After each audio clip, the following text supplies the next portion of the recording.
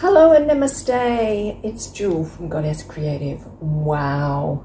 Happy New Year. Oh my God, what an amazing, exciting year it's it is for us coming up. I know I'm a little bit late in delivering this to you. It's just so much is going on. So much is going on in the market. It's like really exciting. Bitcoin's gone nutso uh, because of the the talk of the Bitcoin ETF coming up. So exciting. I've been talking to Spirit this morning. Um, I'm loving all these exciting changes happening with the market. It's feeling really good and crackly and bubbly and exciting again. A lot of buzz around it. Uh, the Bitcoin halving's coming up um, in April, um, which is really auspicious in respect that it's my birthday month. Um, being a Taurus, it's um, incredible. It, it, also indicates um, April, May is um, Taurus, which means to cement into this timeline financial solidness, financial strength and yeah I'm, I'm just I'm super excited. Um, I have been wanting to bring a video to to you for a while but I just had so much going on and I yeah a lot a lot of changes I've started to do um, some readings. I've got a few more videos to release from last year yet, but my new readings this year, I'm looking in smaller timelines. So, and I'm doing a lot of testing in that respect as well. So, um, and what does that mean? Testing. So I've, yeah, so I've been looking at how certain things are going to test, you know, um, affect the market. So I've been talking to Spirit about that. But not only that, when I'm reading alts, I am reading from um, into quarters at the moment. So that's what I'm doing. So I was going to make that available. Um, I just haven't got it happening yet on my website. So you could get readings um, in quarters particularly up to for this run, which is what's what's super important. Um, having an idea of the movements. So yeah, that's exciting. I'm I have been asking questions around this. How will this Bitcoin ETF affect Bitcoin? And what price will it get to?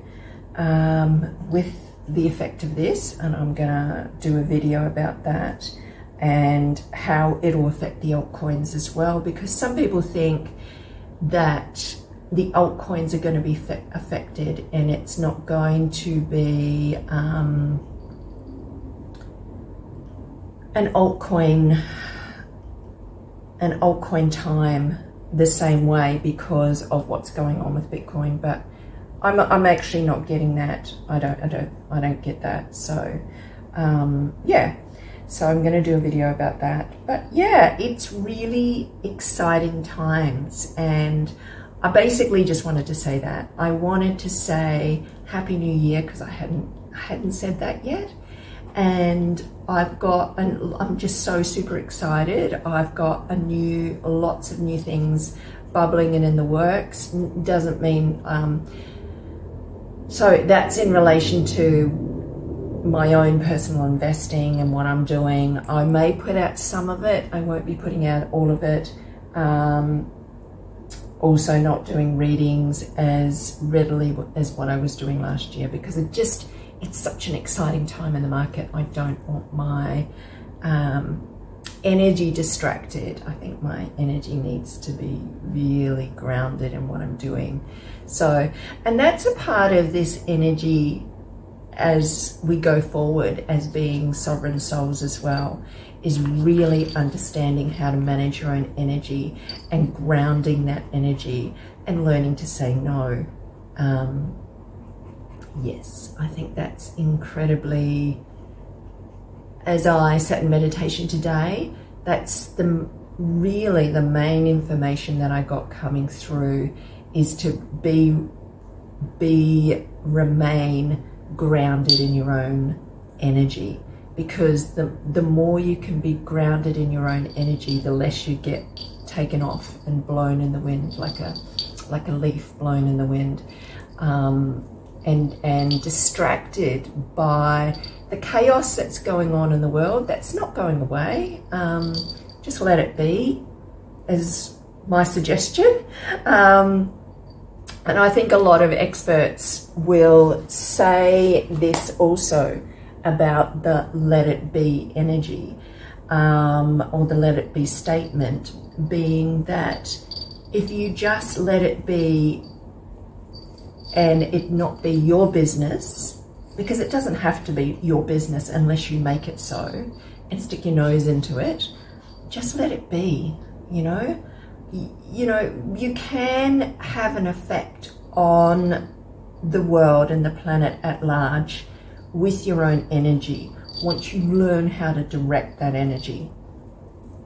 So I would say that is the most profound energy flow right now that's going on. If you learn to master that and not be affected by everything else that's going on, all the other stories, all the craziness, your friends, your family, your relatives, the news, the and I know that can be really hard because we're getting thrown at us like never before. I mean, beautiful Australia has never had so many damn floods, crazy, crazy weather that has been manipulated, by the way. You know, this is not natural. It's been manipulated, but I'm not going into that. But you, this whole thing is teaching us to step back and to really manage and govern our own energy, our own energetic imprint, our sovereign energetic imprint. So, bringing back to self and self management from a higher perspective. I'm not talking from an ego perspective, I'm talking from a higher perspective. Self management, self care self-governing what we put out there, what we give our attention to. So what we put out there is just as important if you're not coming from heart space or you know and to not have your nose in every every other business and trying to push to make changes doesn't make you your